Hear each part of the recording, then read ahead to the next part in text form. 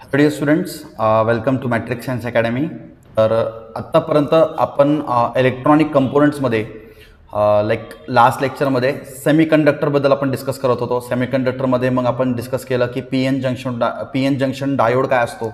बरोबर? P N junction diode काम कसं करतो? फॉरवर्ड बायस काय आहे? रिव्हर्स बायस काय आहे? हे सगळं आपण एकदम डिटेलमध्ये ऑलरेडी लास्ट व्हिडिओमध्ये डिस्कस केलेलं आहे बरोबर? तर आपण आपला चॅप्टर इलेक्ट्रॉनिक कंपोनंटच्या एकदम एंड पार्टला आलेलो आहे आणि आपल्याला फक्त आज अजून एक कंपोनंट डिस्कस करायचं आहे आणि थोडं क्लासिफिकेशन ऑफ आय सीबद्दल डिस्कस करायचं आहे म्हणजे आपला हा चॅप्टर होतो कंप्लीट ठीक आहे? तर हा लेक्चर हा लेक्चर काही स्टुडंट्सला ना पूर्ण असं बाउन्स पण जाऊ शकतो बरं का. हां पण काय तुम्ही लक्ष दिलं पूर्ण अटेंटिव्ह असेल तर तुम्हाला ट्रान्झिस्टर हा टॉपिक समजेल. आणि ट्रान्झिस्टर हा टॉपिक तुम्हाला तुमच्या ट्वेल्थ स्टँडर्डच्या फिजिक्समध्ये पण असणार आहे बरं का. तर तुम्हाला थोडं जास्त अटेंटिव्ह राहावं लागेल नोट्स मेंटेन करावं लागेल प्रॉपर नोट्स मेंटेन करावं लागेल डायग्राम्स व्यवस्थित पेन्सिल स्केलने ड्रॉ करावं लागेल आणि काही डाऊट्स असेल तर परत थोडं मागे जाऊन एकदा परत ऐका. आणि तरी काय डाऊट्स असेल तर मला येऊन भेटा विचारा किंवा मला कमेंट्समध्ये कळवा काय डाऊट्स आहेत म्हणून. ठीक आहे पण डाऊट्स आलेत तर क्लिअर केल्याशिवाय पुढं जाऊ नका. बरोबर? चला. आणि हे इंजिनिअरिंगमध्ये पण हा टॉपिक असणार आहे. बरोबर? ट्रान्झिस्टर हा तुमच्या इंजिनिअरिंगच्या पहिल्या इयरमध्ये पहिलं एक सब्जेक्ट फर्स्ट इयरमध्ये एक सब्जेक्ट आहे. बेसिक इलेक्ट्रॉनिक इंजिनिअरिंग म्हणून. तर तिथं तुम्हाला ट्रान्झिस्टर खूप जास्त डिटेलमध्ये आहे. तर तुम्हाला आता हे बेसिक्स क्लिअर करणं हे गरजेचं आहे. बरोबर? ट्रान्झिस्टर काय आहे? आता सगळ्यांना माहिती आहे बरोबर? ट्रान्झिस्टर काय लाईक हे कोणतं क्लासिफिकेशनमध्ये येतो? हे सगळं आपलं ऑलरेडी डिस्कशन झालेलं आहे. लाईक इलेक्ट्रॉनिक कंपोनंट्स आपले दोन टाईपचे असतात बरोबर? थोडं थोडं जर रिवाइंड करत जाऊ तर हे तुम्हाला माहिती आहे बरोबर? हे बघा इलेक्ट्रॉनिक कंपोनंट्स आपले दोन टाईपचे असतात. एक असतात पॅसिव्ह कंपोनंट्स एक असतात ॲक्टिव्ह कंपोनंट्स पॅसिव्हमध्ये रेजिस्टर कॅपॅसिटर इंडक्टर्स येतात. ॲक्टिव्हमध्ये सेमी कंडक्टर्स येतात. सेमी कंडक्टरमध्ये आपण ऑलरेडी लास्ट लेक्चरमध्ये डायोडबद्दल पूर्ण डिस्कस केले. हा लेक्चर पूर्ण आपलं ट्रान्झिस्टरवरती बेस्ड असणार आहे. तर आजचं लेक्चर पूर्ण आपलं असणार आहे ट्रान्झिस्टरवरती चलो. So without wasting any time we will immediately start discussing about transistors transistor काय आहे? कधी यूज करायचं? कशासाठी यूज करायचं? सगळं एकदम डिटेलमध्ये आपण डिस्कस करणार आहोत. हे बघा. The name transistor is made up of two terms आता ट्रान्झिस्टर हा वर्डचा ना बेसिकली दोन टर्म्स असतात. आपण म्हणतो ट्रान्सफर ऑफ रेजिस्टर आता रेजिस्टर काय आहे तुम्हाला ऑलरेडी माहिती आहे. बरोबर? तर ट्रान्झिस्टरचा अर्थ असतो ट्रान्सफर ऑफ रेजिस्टर आता आपण असं का म्हणतोय बाबा? Because its resistance transfer from one value to another value depending on its bias right आता हे बायस काय आहे तुम्हाला माहीतच आहे. बायस काय आहे? ऑलरेडी आपण हे एन जंक्शन डायोड डिस्कस करताना बघितलं होतं. बायसचा अर्थ असतो to apply voltage bias means what to apply the voltage right so bias means apply the voltage तर आपला वोल्टेजवरती डिपेंड राहतो आपला रेजिस्टन्स म्हणजे आपण किती आपण किती वोल्टेज अप्लाय करतोय हे खूप मॅटर करणार आहे. आता काही स्टुडंट्सला काहीच समजत नसेल. अरे माझ्याकडे पुढे खूप मस्त मस्त चांगले चांगले एक्झाम्पल्स आणलेत मी तुमच्यासाठी. तुम्हाला हा लेक्चर एकदम डिटेलमध्ये कळेल. फक्त फक्त थेअरी ऐकून असं गिवअप करू नका. पूर्ण एक्झाम्पल्स ऐका. मग तुम्हाला काही डाऊट्स असेल तर मला कळवा. बरोबर? काय करतात? काही स्टुडंट्स फक्त थेरी ऐकतात. अरे यार किती कॉम्प्लिकेटेड टॉपिक आहे. असं करतात. पण तुम्ही तसं करू नका. थेरी रीड करताना तुम्हाला शक्यतो काहीच समजदार नाही. बरोबर? पण एक्झाम्पल्स एकदा तुम्ही बघित बघताल तर तुम्हाला ऑटोमॅटिकली थेरी समजायला लागेल. असा आहे हा टॉपिक ठीक आहे? तर एकदा सांगतो. The name transistor is made up of two terms that is transfer of resistor because its resistance transfer from one value to another value basically transistor काय करतो ना एका व्हॅल्यूपासून दुसऱ्या व्हॅल्यूला रेजिस्टन्स ट्रान्सफर करतो बायसवरती म्हणजे करंट आपण किती अप्लाय करतोय त्याच्यावरती आपलं ट्रान्झिस्टर रेजिस्टन्सला ॲडजस्ट करू शकतो. ठीक आहे? Next in other words current through the transistor is control by the bias आता किती कंट्रोल अप्लाय होणार किती करंट फ्लो होणार ते कोण कोण कोण डिसाईड करतं? बायस म्हणजे आपण जास्त करंट अप्लाय केलं म्हणजे आपण जास्त व्होल्टेज अप्लाय केलं तर आपल्या सर्किटमध्ये जास्त करंट फ्लो होणार. आणि आपण समजा कमी व्होल्टेज अप्लाय केलं तर आपल्या सर्किटमध्ये कमी करंट फ्लो होणार. हे काय कसं आहे सगळं मी तुम्हाला सांगेल ठीक आहे? तर पूर्ण खेळ कुणावरती आहे? बायसवरती आहे. ट्रान्झिस्टरचा पूर्ण खेळ कुणावरती चालतो? बायसवरती चालतो. बायस म्हणजे काय? टू अप्लाय द वोल्ट हे पण तुम्हाला माहिती पाहिजे की बायपोलर ट्रान्झिस्टर आणि आपण फक्त आता ट्रान्झिस्टरमध्ये पण दोन टाईपचे ट्रान्झिस्टर असतात बरं का. एकाला आपण म्हणतो बायपोलर ट्रान्झिस्टर आणि एकाला आपण म्हणतो एफ पी डी ट्रान्झिस्टर असतो एक. तर आपल्याला फक्त बायपोलर ट्रान्झिस्टरबद्दलच डिस्कस करायचं आणि आपल्या सिलेबसमध्ये फक्त बायपोलर ट्रान्झिस्टरच आहे. आता बायपोलर म्हणजे काय? Bipolar means both holes and electrons bipolar means holes and electrons take part in carrying the current through the transistor therefore they are called as bipolar transistor तर आता करंट कॅरी करण्या करण्यासाठी आपले holes पण help करणार आहेत आणि आपले इलेक्ट्रॉन्स पण हेल्प करणार आहेत. सगळ्यांना माहिती आहे आता. आपले होल्स म्हणजे पॉझिटिव्ह चार्ज आणि आपले इलेक्ट्रॉन्स म्हणजे नेगेटिव्ह चार्ज आपण already P N junction diode discuss करताना हे डिस्कस केलेले. बरोबर? Transistor is also a P N device with two P N junction and three terminals basically आपण काय करतो माहिती आहे का? आपण दोन पी एन जंक्शन डायोडला सोबत ठेवतो असं. हा आपला समजा पी एन असा असू शकतो ते. तर आपण हे बघू शकतो. हे पी एन हे एक पी एन जंक्शन डायोड आहे. हा एक पी एन जंक्शन डायोड आहे. बेसिकली आपण दोन पी एन जंक्शन डायोडला सोबत ठेवतोय असं आहे. आणि दोन पी एन जंक्शन डायोड जर सोबत ठेवलं आपल्याला तीन टर्मिनल भेटणार. एक दोन असे तीन टर्मिनल्स आपल्याला भेटणार आहेत. एका टर्मिनलला आपण म्हणतो एमिटर एका टर्मिनलला आपण म्हणतो बेस एका टर्मिनलला आपण म्हणतो कलेक्टर असे तीन टर्मिनल्स असतात. And this is how your transistor looks like the first terminal is called as a emitter that emits the electron तर पहिलं टर्मिनल जे असतो त्याला आपण एमिटर म्हणतो. हा एमिट एमिटर काय करतो? इलेक्ट्रॉन्सला एमिट करतो. बेस काय असतो? Which control the flow of electrons म्हणजे हा मधला पार्ट जे असतो ना मधला पार्ट मधला पार्ट काय करतो? ज्याला आपण बेस म्हणतो हे एमिटर हा असतो बेस आणि असतो कलेक्टर कलर चेंज करू का? हे बघा. हा असतो तुमचा एमिटर हा मधला पार्ट असतो तुमचा बेस आणि हा असतो तुमचा कलेक्टर आता एमिटर काय करतो? एमिटर डिसाईड करणार की किती इलेक्ट्रॉन्सला एमिट केलं पाहिजे. म्हणजे इथून इलेक्ट्रॉन्स असे एमिट होतात. इलेक्ट्रॉन्स असे एमिट होतात. बेस काय करतो? तर कंट्रोल करतो. किती इलेक्ट्रॉन्स फ्लो झाले पाहिजेत तो कंट्रोल करतो. आणि कलेक्टर काय करतो? तो रिसीव्ह करतो. कलेक्टर रिसीव्ह करतो आणि इकडून तेवढे इलेक्ट्रॉन्सला सेंड करतो. सांगतो emitter is going to emit the electrons नावावरनं कळते आपल्याला. Emitter is going to emit the electrons base is going to control the flow of electrons and collector is going to collect the electrons. अजून एकदा revise करूयात खूप खूप important आहे. Emitter या ह्याला आपण एमिटर पहिला टर्मिनलला हा पहिला टर्मिनलला आपण एमिटर असं का म्हणतो? कारण इथूनच आपले इलेक्ट्रॉन्सला एमिट केला जातो. इंजेक्शन डायोड एमिटर इलेक्ट्रॉन्सला आपण एमिट करू. तर बेस काय करतो? मग त्या इलेक्ट्रॉन्सला कलेक्ट करतो. आणि बेस काय करतो? त्या इलेक्ट्रॉन्सला कंट्रोल करतो बेसिकली कंट्रोल करतो. E, एमिटरचं एमिटरचं काम तर एमिट करत असेल. बेसचं काम काय असणार? Control the flow of electrons collector is going to control the base is going to control the flow of electrons and collector is going to collect this electrons तर हे सगळे इलेक्ट्रॉन्स कलेक्ट करायचं काम कोणाचं असतं? कलेक्टरचं कंट्रोल करण्याचं काम कोणाचं असतं? बेसचं आणि एमिट करण्याचं काम कोणाचं असतं? एमिटरचं अजून एकदा एमिट कोण करतं? एमिटर कंट्रोल कोण करतं? बेस आणि uh, कलेक्ट कोण करतं? तुमचा कलेक्टर ठीक आहे? हे जर क्लिअर असेल तर आपण आता नेक्स्ट स्लाईडकडे जाऊ शकतो. हे पटकन नोट करून घ्यायचं व्हिडिओ पॉज करायचा व्यवस्थित नोट करून घ्यायचं कारण तुमचे नोट्स खूप इम्पॉर्टंट रोल प्ले करतात आणि एक्झामवर एक्झामला ट्रान्झिस्टरवरती क्वेश्चन कंपल्सरी विचारतात. चलो आता ना आपल्याकडे ट्रान्झिस्टर बेसिकली दोन टाईपचे असतात बरं का. ट्रान्झिस्टरमध्ये एकामध्ये आपण म्हणतो एन पी एन आणि एकाला म्हणतो पी एन पी आता एन पी एन आणि पी एन पीमध्ये डिफरन्स काय? बघा असे एक असतो एमिटर एक असतो कलेक्टर आणि एक असतो बेस परत.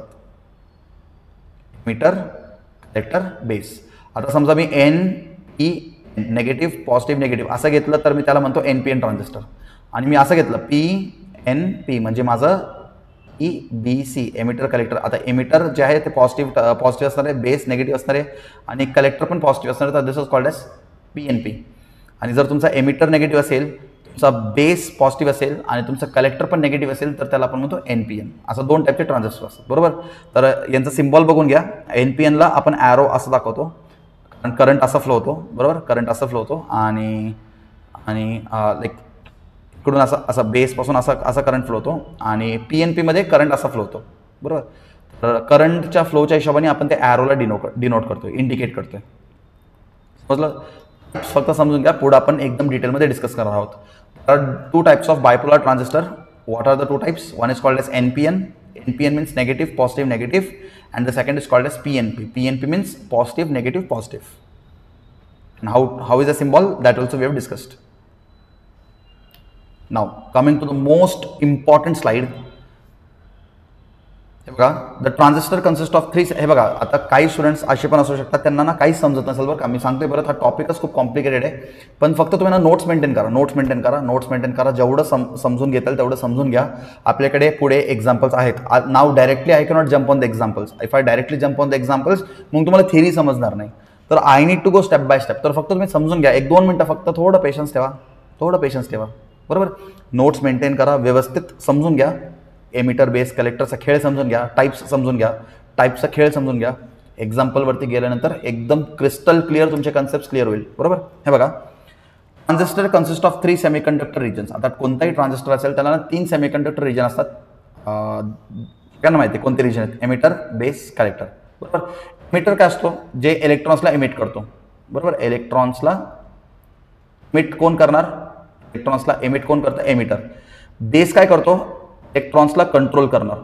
इलेक्ट्रॉनचा फ्लो इलेक्ट्रॉनचा फ्लो ला कंट्रोल करणार. अरे आत्ताच आपण डिस्कस केलं ना?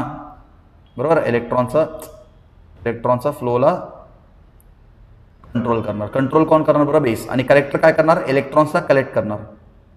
Electrons are the charge carriers right collector काय करणार? इलेक्ट्रॉन्सला कलेक्ट करणार. हे हे तर तुम्हाला ऑलरेडी लास्ट स्लाईडमध्ये मी सांगितले पण पण आता त्या आतमध्ये अजून डिटेलमध्ये जाऊ. Emitter it is heavily doped what is doped everybody knows सेमीकंडक्टरमध्ये इम्प्युरिटीजला ॲड करणं त्यालाच आपण म्हणतो डोप्ड बरोबर? आपण ज्यावेळेस सेमीकंडक्टरमध्ये इलेक्ट्रॉन्सला ॲड करतो होल्सला ॲड करतो त्याच प्रोसेसला आपण काय म्हणतो? डोप्ड तर एमिटर कसं असतो रे? एमिटरला आपण खूप जास्त डोप केला जातो. का? कारण इथूनच आपले इलेक्ट्रॉन्स निघणार आहेत. तर एमिटरला का जास्त डोप करायचं? कारण तिथूनच आपण एमिट करणार आहोत इलेक्ट्रॉन्सला त्याचा साईज मीडियम असतो मीडियम इन साईज बेस काय असतो? लाईटली डोप्ड त्या बेसला लाईटली डोप काय करतो? कारण बेस तर कंट्रोल करणार ना. आता समजा चुकून मी बेसला हायली डोप केलं तर बेस कंट्रोल कसं काय करणार? लॉजिक लॉजिकने विचार करा लॉजिकने विचार करा. समजतंय का? तर बेस काय असतो? बेस असतो लाईटली डोप अँड तो असतो thin in size collector it is medium doped तर कलेक्टर काय करणार? रिसीव्ह करणार आहे. तर त्याला हायली डोप करून पण चालणार नाही आणि लाईटली डोप करून पण चालणार नाही म्हणून आपल्याला कलेक्ट कलेक्टरला कसं डोप करावं लागेल? मीडियम म्हणजे आपण इम्प्युरिटीज ॲड करू. मीडियम इम्प्युरिटीज ॲड करू आणि त्यांचा साईज जास्त ठेवू. तर एन तर आपल्या कलेक्टरचा साईज जास्त असेल तर it it can collect more electrons if the size is small it can collect less electrons समजतंय का? लास्ट फायनल टाइम अजून एकदा. Emitter is going to emit the electrons it is highly or it is heavily doped and it is medium in size. Heavily doped means what? We are going to add lot of impurities like electrons and holes. So when we add any impurity into the semiconductor, that process is called as doping. Then we have base. Base, it is lightly doped. Basically, what is base? Base is going to control the flow of electrons, my dear friends. So base is going to control the flow of electrons. Base, it is lightly doped and it is thin in size.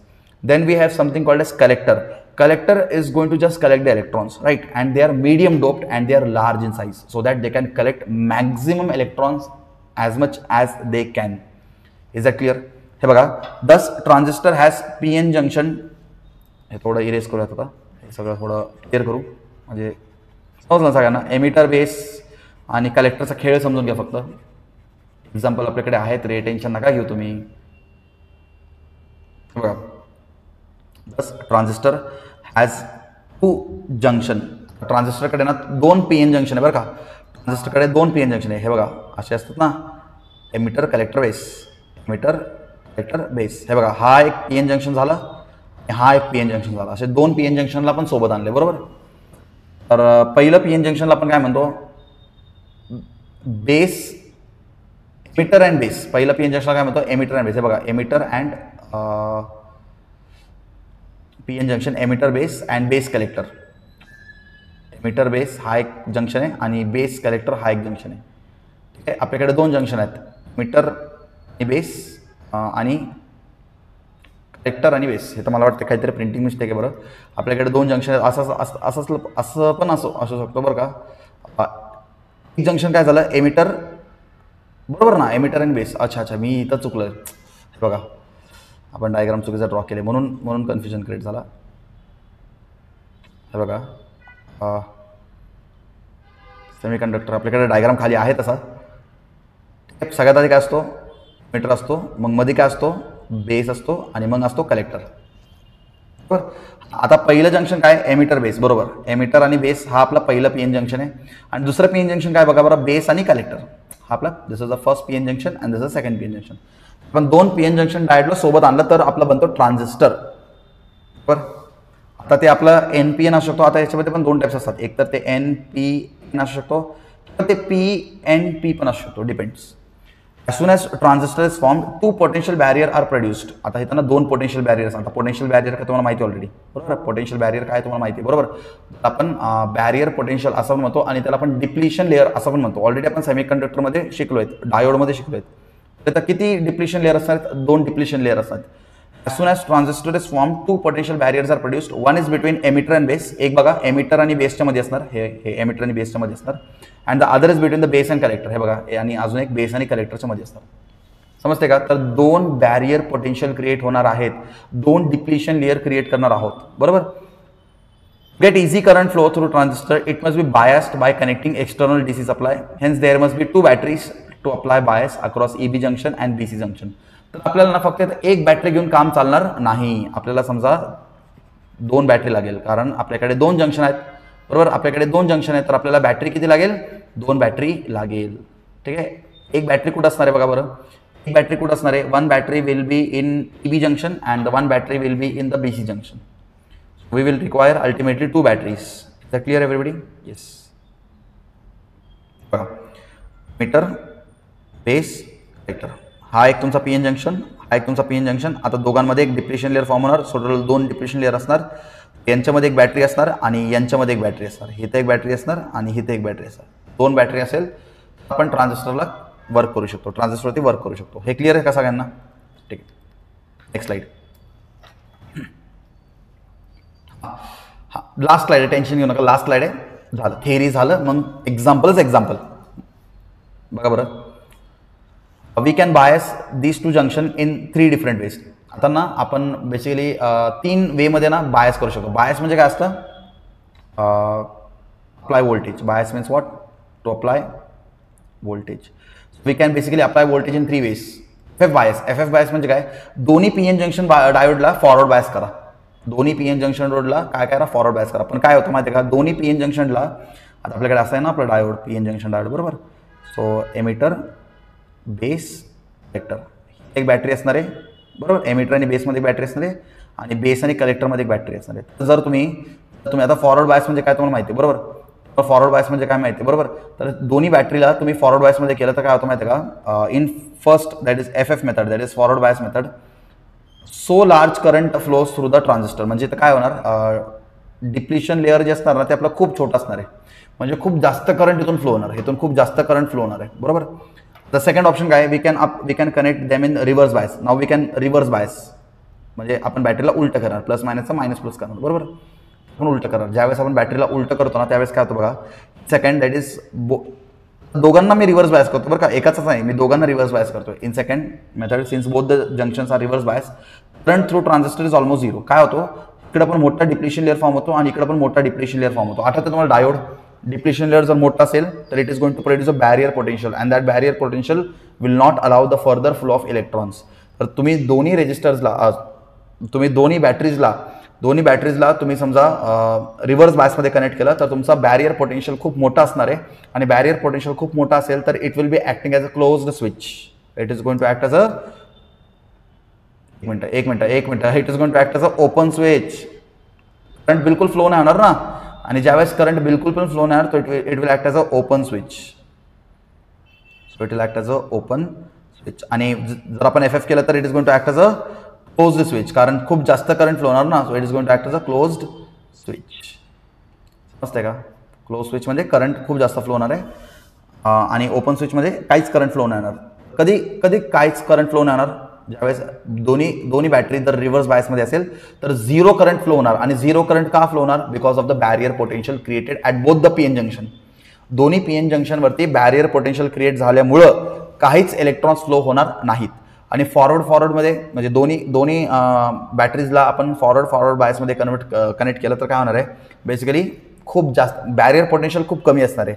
आणि barrier potential ज्यावेळेस खूप कमी असतो तर खूप जास्त current flow होणार आहे and it is going to act as a close switch I hope so समजते रे बाबा तुम्हाला. आय होप सो फक्त लक्ष आणि बघा डायोड ज्यांना समजलं ना त्यांना हंड्रेड पर्सेंट समज सम समज समजून घे. म्हणजे त्यांना इझिली अंडरस्टँडेबल असणार आहे. ज्यांना डायोड समजले ज्या स्टुडंट्सला डायोडच क्लिअर नाही मग ट्रान्झिस्टर्स काहीच नाही समजणार.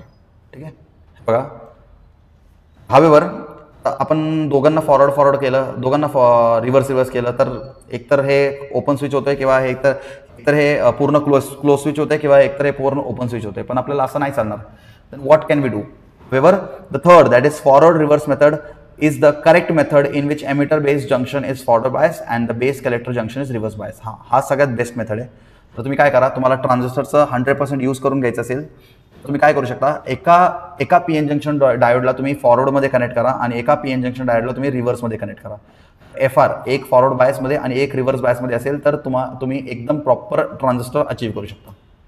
म्हणजे तुम्ही बायसने म्हणजे कंट्रोलने तुम्ही रेझिस्टन्स कंट्रोल करू शकता. परत एकदा सांगतो बायस करून म्हणजे व्होल्टेजनी करंटनी तुम्ही तुमचा तुम्ही तुमचा रेझिस्टन्स हे कंट्रोल करू शकता. आता थेरी झन थे थेरी डन बरं का थेरी डन आता फक्त तुम्ही लिहून घ्या. सगळं तुम्हाला आता मी एक्झाम्पलद्वारे एक्स एक्सप्लेन करतो मी. बघा. हे झालं ॲप्लिकेशन हे झालं. हे झालं. Application of transistor sir transistor application काय माहिती आहे का? तुम्ही ट्रान्झिस्टर वापरून रेक्टिफिकेशन करू शकता. रेक्टिफिकेशन म्हणजे काय? रेक्टिफिकेशन म्हणजे, म्हणजे काय? तुम्ही वीक सिग्नलला सॉरी रेक्टिफिकेशन म्हणजे काय? तुम्ही अल्टरनेटिंग करंटला म्हणजे ए सी करंटला डी सीमध्ये कन्वर्ट करू शकता. याला आपण म्हणतो रेक्टिफिकेशन ॲम्प्लिफिकेशन म्हणजे काय? लो सिग्नलला तुम्ही हाय सिग्नलमध्ये कन्वर्ट करू शकता बघा. लो सिग्नलला हाय सिग्नलमध्ये कन्वर्ट करू शकता. आणि आणि अजून एक काय? ट्रान्झिस्टरला तुम्ही स्विच सारखं पण वापरू शकता. अच्छा आता ऑन कधी होतं रे? आपलं स्विच ऑन कधी होतो? आत्ताच आपण डिस्कस केलं होतं. बरोबर? आता ऑन कधी होतं? आपला स्विच ऑन कधी होतो? सांगा बरं. ते आपलं करंट जास्त फॉरवर्ड फॉरवर्ड जर आपला जर आपला समजा दोन्ही दोन्ही जंक्शन फॉरवर्ड फॉरवर्डमध्ये असेल तर it is going to act as a कसं ॲड करणार आहे? ओपन स्विच का क्लोज स्विच आत्ताच आपण डिस्कस केलं ना कसं ॲड करणार आहे? फॉरवर्ड फॉरवर्डमध्ये असेल तर खूप जास्त करंट फ्लो होणार. आणि खूप जास्त करंट फ्लो झालं होतोय म्हणजे त्याला आपण काय म्हणतो? ओपन स्विच बरोबर? हो हो हो. खूप जास्त करंट फ्लो होतोय खूप जास्त करंट फ्लो होतोय म्हणजे काय म्हणणार आपण त्याला? क्लोज स्विच फॉरवर्ड फॉरवर्डमध्ये ठेवल्यानंतर खूप जास्त करंट फ्लो होणार. मग आपण त्याला म्हणणार क्लोज स्विच ॲक्ट ॲक्ट करतोय. आणि जर मी त्याला रिव्हर्स रिव्हर्समध्ये ठेवलं रिव्हर्स रिव्हर्समध्ये ठेवलं तर it is going to act as a open switch म्हणजे काहीच करंट फ्लो नाही येणार. काहीच करंट फ्लो नाही होणार. समजते का? So it can be act switch also transistor आपला स्विच सारखं पण काम करू शकतो. समजते चलो, आता हे प्रत्येक एक्झाम्पलला अजून डिटेलमध्ये एक्सप्लेन करूयात. एक्झाम्पलला अजून एकदा डिटेलमध्ये एक्सप्लेन करतो बघा बरं. ट्रान्झिस्टर ॲज अन ॲम्प्लिफायर आता काय आहे? बेसिकली तुम्हाला एक एक्झाम्पल देतो बघा. हे झालं तुमचा इनपुट हे झालं तुमचा इनपुट म्हणजे मीटर झालं तुमचा एमीटर हा झाला तुमचा बेस आणि हा झाला तुमचा कलेक्टर बरोबर? तीन टर्मिनल्स असतात आणि हा आपला ट्रान्झिस्टर हा हे आपला transistor this is our transistor आणि ट्रान्झिस्टरला तीन terminal emitter emitter is going to receive the signals बरोबर? एमिटर काय करणार? सिग्नल्स रिसीव्ह करणार. बेस काय करणार? त्याला कंट्रोल करणार. आता बेस म्हणजे काय? तुम्हाला सांगतो का? तुम्ही बघितलं असेल तुम्ही बघितलं असेल फॉर एक्झाम्पल आपण कधी ना कधी तुम्ही माईकवरती बोलला असाल बरोबर? कधी ना कधी तुम्ही माईकवरती बोलला असाल तर माईक तुमच्याकडे आहे. तर तुम्ही जे माईकमध्ये बोलताय तुम्ही सिग्नल देताय. बरोबर? तर माईक ना माईक एक ॲम्प्लिफायरला कनेक्ट असतो. आपण तिथं व्हॉल्यूम कमी जास्त करू शकतो. माईकचं व्हॉल्यूम कमी जास्त करू शकतो. बरोबर? तर हे बेस म्हणजे काय ना व्हॉल्यूमचं बटन आहे समजा. बेसला ना तुम्ही जस्ट एक एक्झाम्पल देतो बरं का.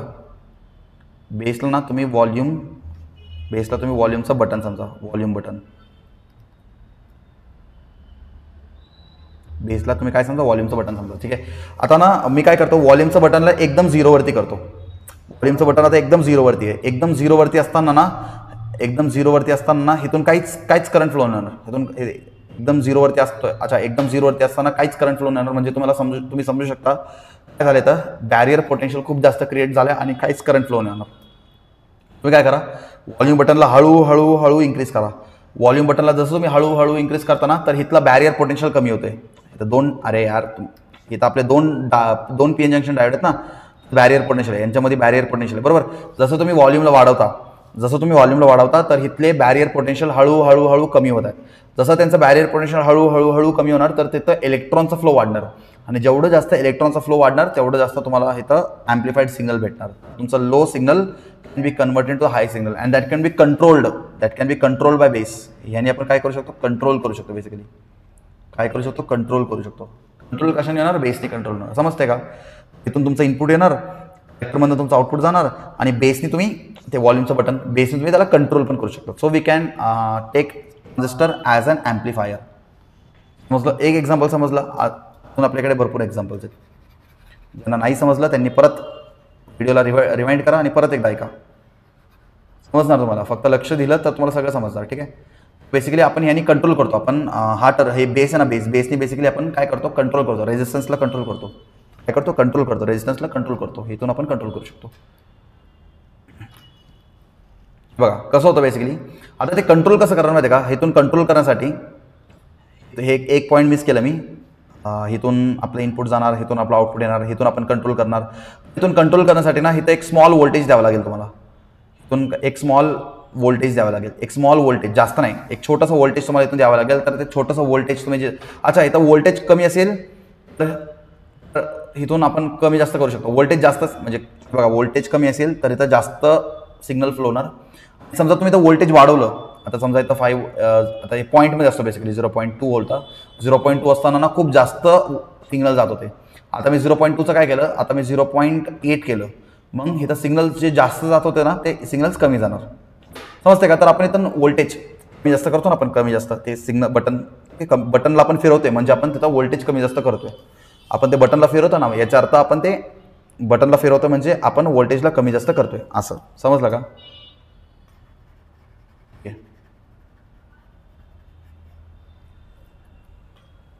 बघा तर इथून तुम्हाला हे दिसतं का तुम्हाला?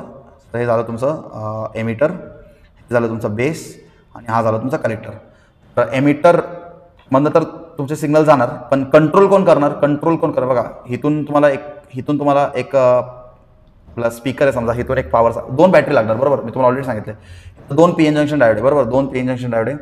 तर इथून आपण एक सप्लाय घेणार कलेक्टरला आणि इथून एक वेगळं सप्लाय घेणार. आणि हे बेसिकली कमी असणार. इथलं इथलं वोल्टेज बेसिकली कमी असणार. इथलं वोल्टेज बेसिकली जास्त असणार.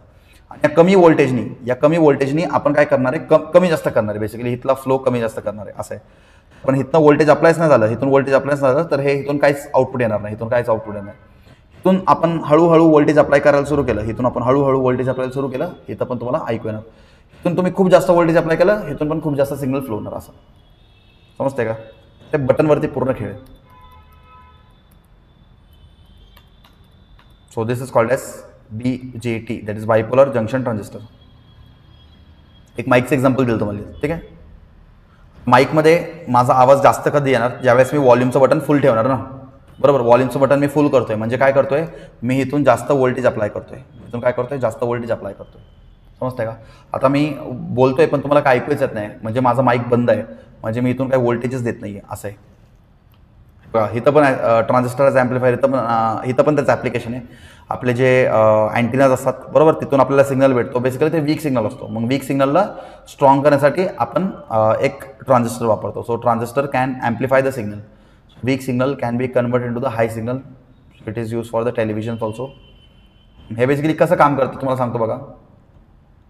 हे असतो तुमचा मीटर हे असतो तुमचा बेस आणि हा असतो तुमचा कलेक्टर पासूनचा कलेक्टर तर इथून हे बघा इथून बेसिकली काय इलेक्ट्रॉन्स होल्स इलेक्ट्रॉन्स होल्स हे ब्लू कलरमध्ये जसं तुमचे पॉझिटिव्ह चार्ज आहे आणि छोटे छोटे दिसत आहेत व्हाईट कलरमध्ये ते तुमचे नेगेटिव्ह चार्ज आहेत.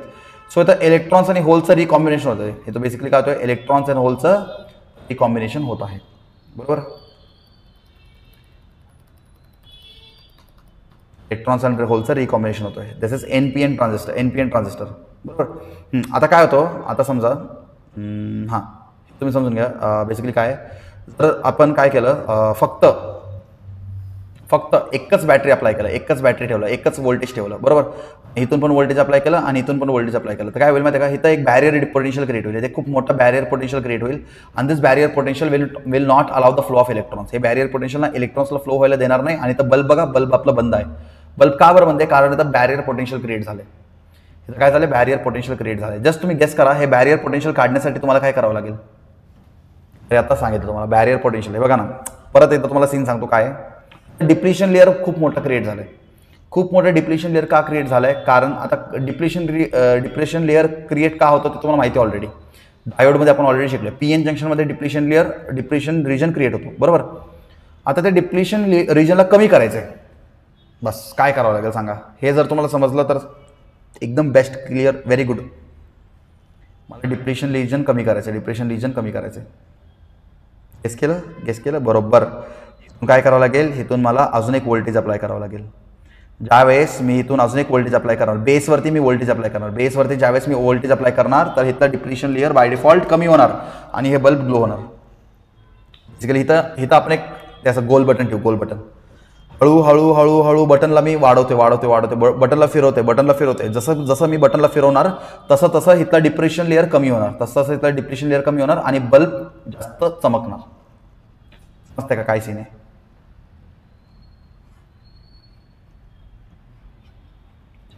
जर मला अजून समजेल नेक्स्ट स्लाईडवरती बघा. बघा. हे कसं करणार? कंट्रोल कसं करणार तुम्ही? कंट्रोल करण्यासाठी आपण आता दोन बॅटरी लावली बघा. आपण आपण इथे एक बॅटरी लावणारच. बरोबर? इथे बॅटरी आता हे बॅटरी काय करणार? हे बॅटरी बेसिकली खूप कमी व्होल्टेज इथून खूप कमी व्होल्टेज निघणार. आणि इथून व्होल्टेज खूप जास्त निघणार बरं का? इथून व्होल्टेज खूप जास्त निघणार. इथून व्होल्टेज खूप जास्त निघणार आणि इथून व्होल्टेज कमी निघणार बरोबर? हे व्होल्टेज जे असतं ना हा व्होल्टेज जे व्होल्टेज कमी निघतोय हा फक्त कंट्रोल करणार रे कंट्रोल करणार. हे बघा हा आहे तुमचा एमिटर हे बघा एमिटर दिसतं का तुम्हाला? एमिटरचं काम एमिटर काय करतोय बघा बरं. एमिटर एमिटर काय करतोय? एमिटर इलेक्ट्रॉन्सला एमिट करतोय बरोबर? इलेक्ट्रॉन्स इथून एमिटरला इलेक्ट करणार.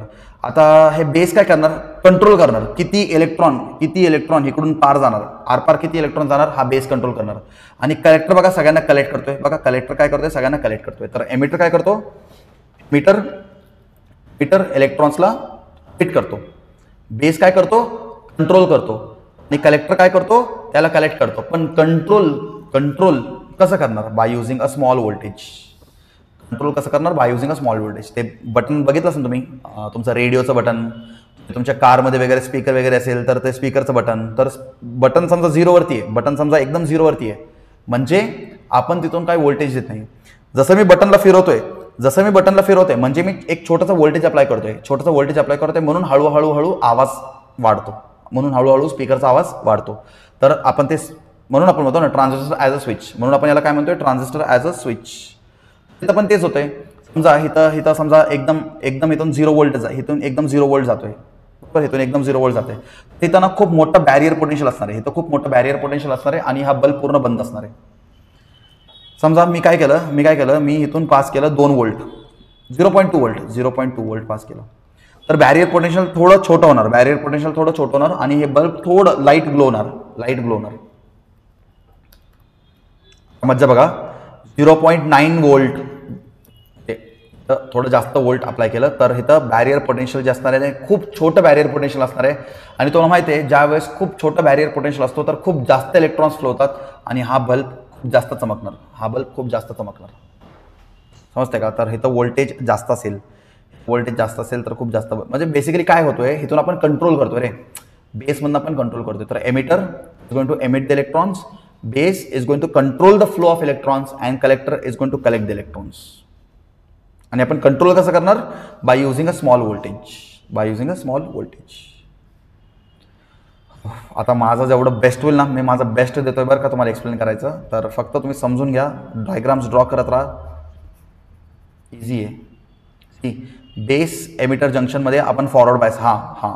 हे बेस एमिटर हे तुमचं फॉरवर्डमध्ये असायला पाहिजे ठीक आहे? बेस एमिटर जर फॉरवर्ड फॉरवर्डमध्ये असेल तर करंट फ्लो होणार. लक्षात घ्या. हे फॉरवर्ड बायसमध्ये असलं पाहिजे. कोण? बेस एमिटर बेस एमिटर फॉरवर्डमध्ये असेल तर इथून करंट फ्लो होणार. आणि किती करंट फ्लो होणार आपण स्विचने डिसाईड करू शकतो. नाही बेस एमिटर समजा रिव्हर्स बायसमध्ये असेल हे बघा तुम्ही रिव्हर्स बायस रिव्हर्स बायस हे बघा तुम्ही बघू शकता. बघू शकता रिव्हर्स बायस बरोबर? रिव्हर्स बायस जर तुम तुमचा हा हा पोर्शन रिव्हर्स बायसमध्ये असेल हा रिव्हर्स बायसमध्ये असेल तर तुमचा डिप्लिशन लेअर बघा किती मोठा डिप्लिशन लेअर क्रिएट झाले हे पूर्ण डिप्लिशन लेअर आहे. आता एवढं मोठं डिप्लिशन लेअर क्रिएट झालं because of the reverse bias so your there will no current flowing इथून काही करंट फ्लो होणार नाही. आणि ज्यावेळेस काहीच करंट फ्लो होणार नाही तर आपला बल्ब ऑफ असणार. बल्ब विल बी ऑफ समजते का? तर this is going to act as a closed switch this is going to act as a open switch open switch असेल तर करंट फ्लो होणार नाही ना? ओपन स्विच असेल तर करंट फ्लो होणार नाही. समजते का? कन्फ्यूज होऊ नका बरं का? आणि हे बघा it is going to act as your it is going to act as your close switch close switch सारखा ॲक्ट फॉरवर्ड बायसमध्ये एमिटर बेस जर फॉरवर्ड बायसमध्ये असेल तर it is going to act as a close switch so elect so electrons will flow ठीक आहे? आता इथं कसं आहे सीन माहिती आहे का इलेक्ट्रॉन्स फ्लो इलेक्ट्रॉन्सला कंट्रोल करण्यासाठी ना हा हा तुमचा फॉरवर्ड बायसमध्ये असला पाहिजे हा तुमचा रिव्हर्स बायसमध्ये असला पाहिजे असं आहे सीन एक फॉरवर्ड बायसमध्ये असला पाहिजे आणि एक रिव्हर्स बायसमध्ये असला पाहिजे. हा पण फॉरवर्डमध्ये आला चुकून हा पण फॉरवर्डमध्ये आला तर कंट्रोल्स नाही होणार इथं कंट्रोल्स नाही होणार. हा हा बॅरियर नसणार. समजते का? हा पण फॉरवर्डमध्ये आला. समजते का? हा पण फॉरवर्डमध्ये आला नाही हा पण फॉरवर्डमध्ये आला. तर काय होणार? हा बॅरियर नसणार इथं. हा बॅरियर नसणार. आणि हा बॅरियर क्रिएट नाही झाला तर कंट्रोल नाही होणार. बॅरियर क्रिएट नाही झालं तर कंट्रोल नाही होणार. समजा आता एक फॉरवर्डमध्ये एक फॉरवर्डमध्ये तर म्हणजे इथं डिप्लेशन लेअर काहीच नाही आहे इथं डिप्लेशन लेअर काहीच नाही आहे आणि फॉरवर्डमध्ये आणि एक रिव्हर्समध्ये फॉरवर्डमध्ये आणि एक रिव्हर्समध्ये म्हणजे आपल्याकडे हे डिप्लेशन लेअर भेटतो. आणि हा डिप्लेशन लेअर हा डिप्लेशन लेअरला यूज करून आपण इलेक्ट्रॉन्सच्या फ्लोला कंट्रोल करू शकतो. समजतं का सगळ्यांना? ठीक आहे. नेक्स्ट स्लाईडला जाऊयात. हे समजलं? रिव्हर्स बायस असेल. एक फॉरवर्ड म्हणजे दोन्ही रिव्हर्स असेल तर काहीच करंट फ्लो होणार नाही. एक फॉरवर्ड आणि एक रिव्हर्स असेल तर आपण करंटच्या फ्लोला कंट्रोल करू शकतो. असा सीन आहे. ठीक आहे? अच्छा दोन्ही फॉरवर्ड असेल तर पूर्ण करंट फ्लो होणार ॲज इट इज पूर्ण करंट फ्लो होणार. पण एक फॉरवर्ड आणि एक रिव्हर्स असेल तर करंट कंट्रोल करू शकतो. आणि दोन्ही दोन्ही दोन्ही बॅटरीज आणि दोन्ही पी एन जंक्शन समजा रिव्हर्स असेल तर काहीच करंट फ्लो होणार नाही. So the transistor is going to act as a valve तुम्हाला माहिती आहे आपण पाण्याचा टॅप बघतो पाण्याचा टॅप तर पाण्याचा टॅप आहे ना ते ट्रान्झिस्टर आहे समजा. आपण जेवढं पाण्याचं टॅप ओपन करतो तेवढंच पाणी फ्लो होतो ना. बरोबर? तर हा मधला मधला जे टर्मिनल आहे ना this is the tap of the water तुम्ही जेवढं तिथून करंट फ्लो करणार तेवढं जास्त तेवढं जास्त पुढे जास्त ॲक्च्युअलमध्ये तुमचं ट्रान्झिस्टरमधनं करंट बाहेर फ्लो होणार. आणि इथून समजा इथून समजा तुम्ही करंट कमी फ्लो केलं तर तुमचा फायनल आउटपुट पण कमी असणार. म्हणजे फायनल करंट पण कमी फ्लो होणार. त्यांचं टॅपसारखं पाण्याचं टॅप तुम्ही बंद ठेवलं तर काहीच पाणी पडणार नाही. आणि पाण्याचं टॅप तुम्ही पूर्ण ओपन केलं तर खूप जास्त पाणीचा फ्लो होऊ शकतो. बरोबर? तसंच आपला ट्रान्झिस्टर पण असतो. तर मधून तुम्ही इथं करंट अप्लाय केलं तर कन्व्हेन्शनल करंट तुम्हाला भेटणार. आणि मधून तुम्ही काहीच करंट अप्लाय नाही केलं तर तुम्हाला काहीच कन्व्हेन्शनल करंट भेटणार नाही. असं आहे. बघा. ठीक आहे? बघा. तर तर हिथून हिथून हिथून करंट अप्लाय झालं तर तुम्हाला कन्व्हेन्शनल करंट भेटणार इथून. आणि समजा इथून करंट नाही अप्लाय झालं म्हणजे ते क्लोज टॅपसारखं झालं क्लोज टॅप समजा मी आता टॅपला बंद केलं तर इथं इथं पण पाणी फ्लो होणार नाही इथं पण करंट फ्लो होणार नाही असं आहे समजा. आता हे टॅपचं एक्झाम्पल का देतोय? तुम्ही रिलेट करू शकता. ट्रान्झिस्टरला तुम्ही वाल्वसोबत ते पाण्याचा वाल्वसोबत रिलेट करू शकता. ठीक आहे? हे बघा. कसं होतंय बेस करंट ह्याला आपण म्हणतो हिथं हिथं जे करंट ना याला आपण म्हणतो बेस करंट. हिथं जे करंट आहे ना याला आपण म्हणतो बेस करंट. हिथं जे करंट असणार ना याला आपण काय म्हणणार? Base current. तर आपला बेस करंट कंट्रोल करतं कन्व्हेन्शनल करंट हिथं हिथं जे स्पीकरला करंट जातो ना याला आपण म्हणतो कन्व्हेन्शनल करंट कन्व्हेन्शनल करंट आणि हे जास्त असतो. कन्व्हेन्शनल करंट खूप जास्त असतो पण बेस करंट खूप छोटा असतो.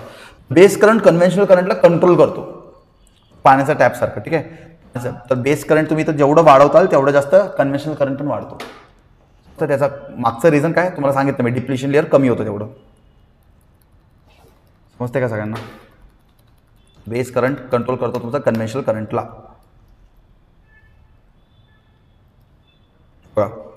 ठीक आहे? हे आपण बघितलं ऑलरेडी ठीक आहे? हां आता तर काय असतो? इथं काय कन्सेप्ट बघा. जर तुमचा आय सी आय सी म्हणजे conventional current directly proportional to base current तर जर बेस करंट जेवढं जास्त वाढणार तेवढं जास्त तुमचं कन्व्हेन्शनल करंट पण वाढणार. सो तर याला आपण म्हणतो बेस करंट बेस करंट आणि इथं आपण म्हणतो कन्व्हेन्शनल करंट तर जेवढं तुमचं बेस करंट वाढणार तेवढंच तुमचं कन्व्हेन्शनल करंट पण वाढणार. So the relation is directly proportional व्हॉल्यूमचं button रे व्हॉल्यूमचं बटन व्हॉल्यूम व्हॉल्यूमचं बटन तुम्ही वाढवता म्हणजे तिथून एक छोटंसं व्होल्टेज तुम्ही देताय इन शॉर्ट समजतं का? व्हॉल्यूमचं बटन तुम्ही वाढवता ना कोणत्याही स्पीकरमध्ये वगैरे काहीमध्ये तुम्ही व्हॉल्यूमचं बटन वाढवता बरोबर? तर तुम्ही व्हॉल्यूमचं बटन वाढवताय असं फिरवता ना फिरवता ना व्हॉल्यूमचं बटन तर तुम्ही व्हॉल्यूमचं बटन फिरवताय म्हणजे तुम्ही तिथून एक छोटंसं करंट पास करताय. आणि जेवढं जास्त करंट तिथून पास होणार तेवढं जास्त तुमचं स्पीकर वाजणार. समजते का? जेवढं जास्त करंट तुम्ही जेवढं जास्त तुम्ही हे फिरवणार तेवढं जास्त करंट जाणार. आणि जेवढं जास्त तुमचं बेस करंट जाणार तेवढं जास्त तुमचं कन्व्हेन्शनल करंट पण वाढणार आणि तुम्हाला जास्त आवाज ऐकू येणार. तेच तेच मी तेच मी बेस करंट कमी केलं. म्हणजे व्हॉल्यूमचं बटन एकदम झिरो केलं. तर तुमचं कन्व्हेन्शनल करंट पण कमी फ्लो होणार आणि तुम्हाला स्पीकरमधनं आवाज कमी ऐकू येणार. असं आहे. समजतं का? ट्रान्झिस्टर आपण कुठे यूज करतो? Transistor can be use as a amplifier transistor can be use as a amplifier application काय बघा? ट्रान्झिस्टरचं ॲप्लिकेशन काय? Transistor can be use as a amplifier मी जास्त. And transistor can be use a switch forward forward बॅसमध्ये convert forward forward बॅसमध्ये तुम्ही P N junction ठेवलं तर पूर्ण करंट फ्लो होणार. फॉरवर्ड रिव्हर्समध्ये तुम्ही जर कनेक्ट केलं तर सॉरी दोन्ही रिव्हर्स रिव्हर्समध्ये कनेक्ट केलं तर पूर्ण करंट फ्लो बंद होणार. सो ट्रान्झिस्टरला आपण पूर्ण स्विच पण घेऊ शकतो बरोबर? आणि आपण फॉरवर्ड रिव्हर्समध्ये कन्वर्ट केलं फॉरवर्ड रिव्हर्समध्ये कनेक्ट केलं तर ते ॲम्प्लिफायरसारखं पण काम करू शकतो. समजते का? बघा. स्विच कधी होणार? जर तुम्ही फॉरवर्ड फॉरवर्डमध्ये ठेवलं फॉरवर्ड फॉरवर्डमध्ये ठेवलं तर खूप जास्त करंट फ्लो होणार खूप जास्त करंट फ्लो होणार. तुम्ही रिव्हर्स रिव्हर्समध्ये ठेवलं. रिव्हर्समध्ये रिव्हर्समध्ये काहीच करंट फ्लो होणार करंट काहीच फ्लो होणार तर खूप जास्त करंट फ्लो होणार there will be large current flow here there will be no current flow आणि ॲम्प्लिफायरसाठी काय करावं लागेल? फॉरवर्ड रिव्हर्स करावं लागेल. फॉरवर्ड रिव्हर्समध्ये आपण करंटला कंट्रोल करू शकतो. त्यालाच आपण ॲम्प्लिफायर असं म्हणतो. And we can control the flow of the electrons that is only called as amplifier समजते का? This is the final conclusion so we have completed the transistor transistor completed ठीक आहे? आता त्याच्यानंतर आपल्याकडे असतो एस एम पी एस आता S M P S काय असतो? स्विच मोड पॉवर सप्लाय याच्यापुढे चॅप्टर खूप सिंपल आहे बघा.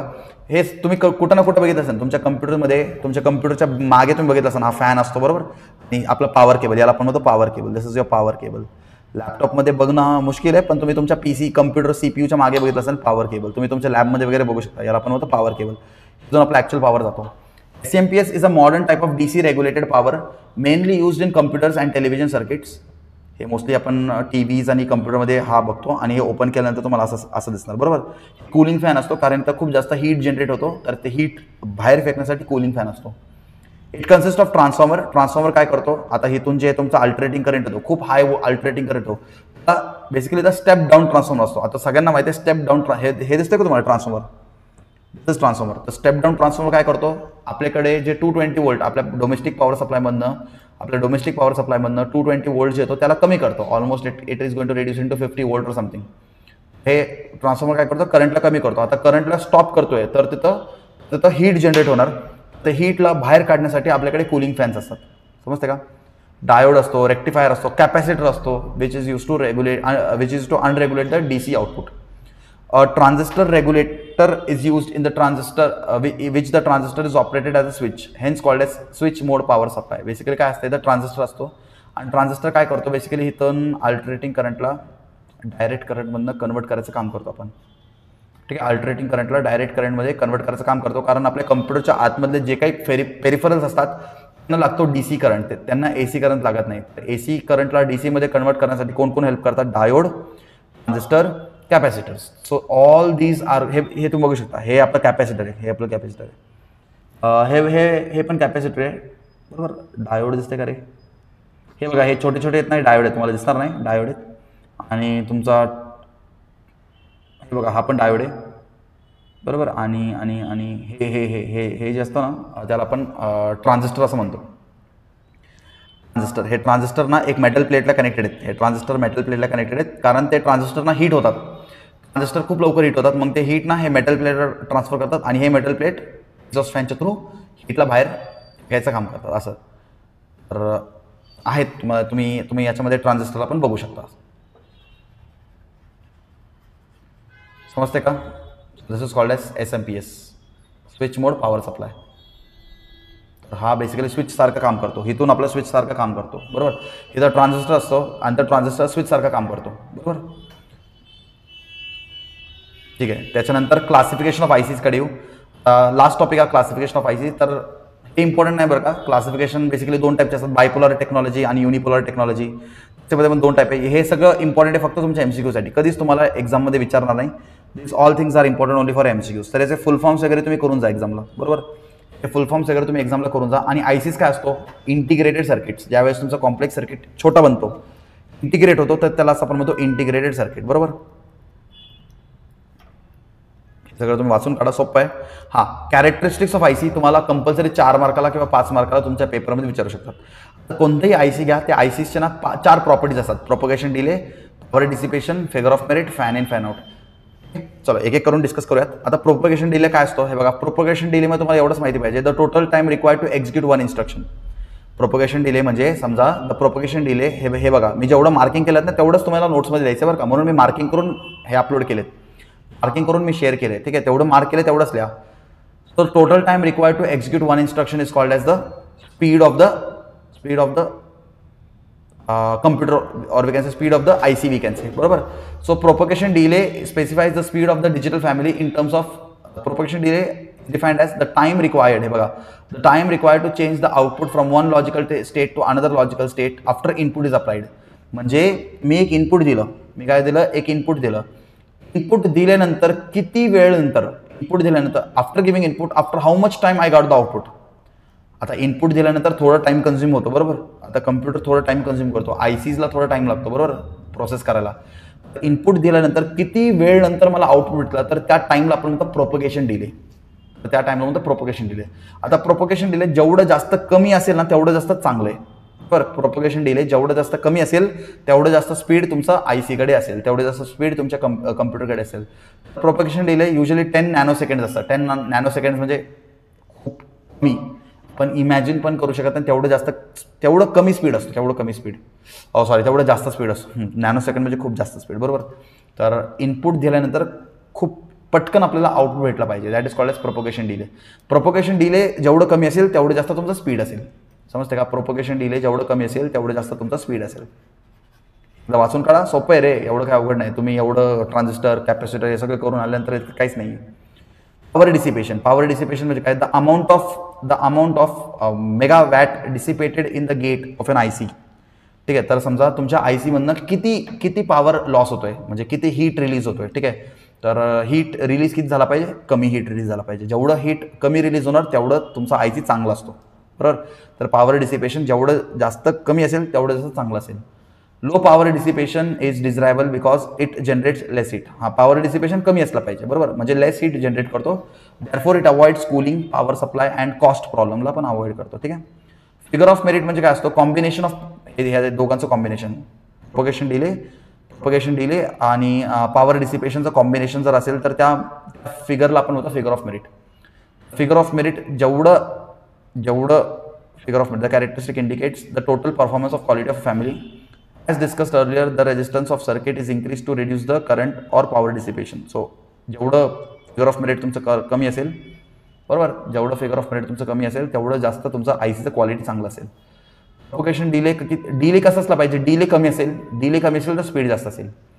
पॉवर डिसिपेशन कमी असेल पॉवर डिसिपेशन कमी असेल तर हीट लॉस पण कमी असेल. आणि फिगर ऑफ मेरिट कमी असेल तर तुमचं आय सी चांगलं आहे असं. समजते का काय म्हणतो मी? एकदा तुम्ही रीड करून काढा तुम्हाला समजून जाईल. असं काय कॉम्प्लिकेट नाही खूप सोपं सोपं आहे. आणि मी जे मार्क केलेत ना बरं मी जे मार्क केलेत ना तेवढंच तुम्हाला लिहायचं आहे बरं का. लास्ट होतं पण fan in fan out fan in म्हणजे काय? Number of inputs given to a given to a logic gate आता लॉजिक गेट काय तुम्हाला कळेल. आणि फॅन आउट म्हणजे number of output receive from a logic gate तर फॅन इन फॅन आउट जेवढं म्हणजे जेवढं जास्त इनपुट देता येईल कमी लोडमध्ये तेवढं चांगलं आहे.